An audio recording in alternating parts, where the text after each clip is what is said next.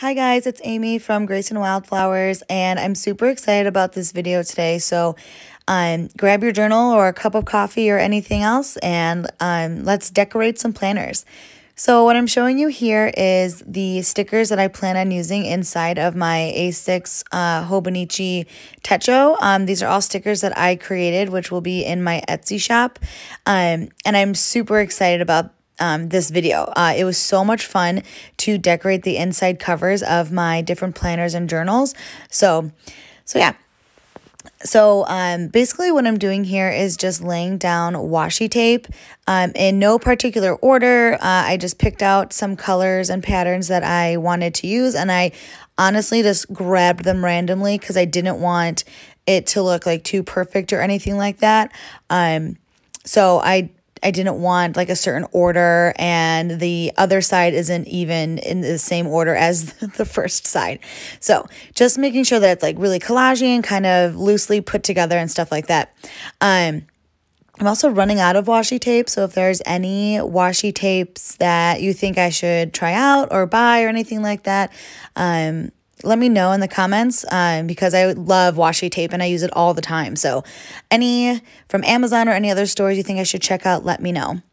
Um, so I decided to um, decorate the inside covers of my planners. I've seen a couple of other YouTubers and people do it, and it just looks so pretty. So, definitely inspired by them uh, to do this. And some people use like sticker paper and put all their stuff on there at first and then um, put it in their planner and cut the edges.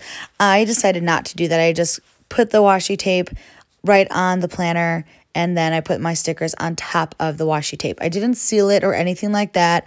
And so far, so good. The washi tape is holding up. It's not like curling around the edges or anything like that. So that's uh, that's how I did the inside covers of the planners that you'll see.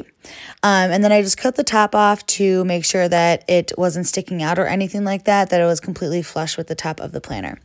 So, like I said, these are all stickers that I made and will be in my Etsy shop, and I'm so excited for them, you guys. They were so much fun to make, and um, they're all uh, Jesus related or Bible related. Um, and especially because this is going in my um, Bible planner slash prayer journal. So I wanted to make sure that when I opened it, um, I was, you know, looking at verses that I love and, you know, things that related to Bible journaling and stuff like that. So I'm basically just trying to figure out a way that the stickers will um, best fit on these two pages since since this planner is an A6 size, there's not a ton of room. Um, so I just wanted to make sure that they all fit and stuff like that. So I organized them on there first, then take them off and put them back on there. As you can see, even when I put them back on there, I end up switching where they go anyway. So why do I even plan it out? I don't know. Um, one of the stickers I'm most excited for is that Jeep one that says Jesus take the wheel. I drive a Jeep, so that one is super fun to me. And um, the sticker that's in there is gray because I also have a gray Jeep. Um, and so I just wanted that to remind me of Jesus, take control of my life. Um, he is the driver and I'm the passenger, and I want to do what what he um, has planned for my life. Um, other ones that I'm really excited about are these little cross stickers. I think they are the cutest things in the world. Um, there's um, I just call them like my mini cross um, sticker packs, I guess. Um, and those are going to be available in my Etsy shop too, along with other like tiny little stickers like to put in planners and stuff like that. I'm I'm so excited. Um, so in my Hobonichi weeks, um, I wanted to focus a little bit more on the content side of things. So this is the planner where I'm using uh, that I'm using it for YouTube, Etsy, and Instagram just to like keep me focused, keep me on track, keep me um, on a schedule and stuff like that, and not to be distracted by any work things or um, like personal journaling or to dos and stuff like that. This is solely just for like content stuff. So we'll see if this works out. Um, I don't know how long it'll last, but so far it's a lot of fun. And I'm going through the exact same process as before sticking the washi tape down, cutting it, and stuff like that. So instead of putting a lot of like Bible stickers in here, I wanted to focus it, like I said, on that content. So I put my logo. Um, as a sticker in here. Um, and then I put the Hamilton sticker that I made of the Schuyler sisters when they say work in the Schuyler sisters song from Hamilton. And shout out to my niece who requested me to make that sticker. And I thought it was going to be super hard to make. And it was difficult, but um, I did it and I'm super proud of it and it was so much fun and she loved it and so that was all worth it. But I also put it in here because I want to get work done. Like I want to um, stay consistent and do things that will glorify God and um, you know just stay on track with things. So that was for my Hobonichi weeks. And then my favorite Hobonichi, my Hobonichi cousin in the A5 size.